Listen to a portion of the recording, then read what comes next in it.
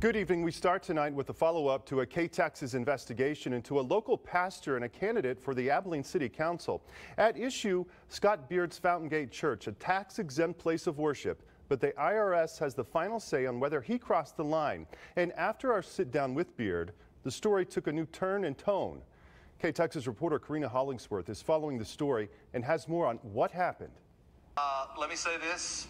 We're going to shout hallelujah on the way out. Uh, I hear there's some dude running for city council, and you might can get his signs out in the foyer. I'm just saying they're out there. If you don't have a sign in your yard, put one in your yard. I don't know who the dude is, but I, I hear he's good looking. Last week, this video had many questioning whether or not Scott Beard, the pastor of Fountain Gate Fellowship Church and candidate for city council, separated politics from the pulpit. Beard contacted KTXS News with what he said was an important update from the Texas Ethics Commission. Basically, we've been completely exonerated. Uh, that I can read part of this to you. This is the complaint does not comply with the legal and technical form requirements for a sworn complaint filed with the Texas Ethics Commission.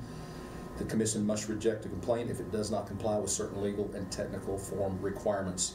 The complaint questioned whether or not Beard violated Tax Code 501c3, which states 501c3 organizations, including churches, must not participate in or intervene in any political campaign on behalf of or in opposition to any candidate for public office.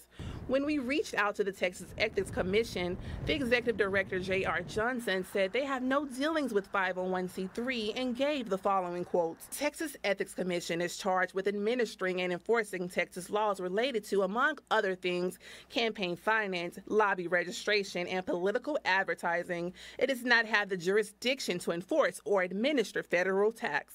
Not broken any law. We actually contacted the TEC before any of this happened. When asked if he would proactively contact their IRS, who handles 501c3, like he proactively contacted the TEC, Pastor Beard responded, We wouldn't reach out to the IRS. There are no plans for us reaching out to the IRS. There's no need to at this point. Michael Davis, who lives down the street from Fountain Gate Fellowship Church, said when he goes to church, he only wants to hear the sermon. I can do my thing with God anywhere. But if I want to be with that community of people, I need to get to that building. And without talking about any of the politics.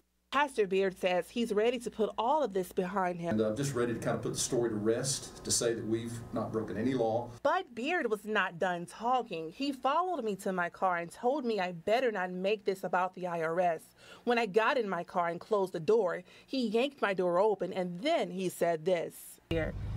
Please step away from my car. I will. Please step away from my car. Please work with me.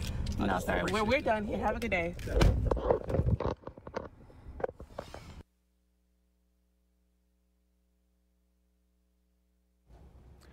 Our thanks to Karina. Scott Beard's running for place four on the Abilene City Council.